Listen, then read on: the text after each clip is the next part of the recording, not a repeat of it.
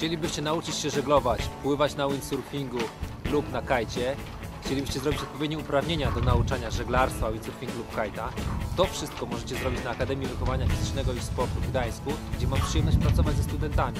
Zapiszcie się już dziś na zajęcia i specjalizację z żeglarstwa. Zapraszam, Piotr Myszka.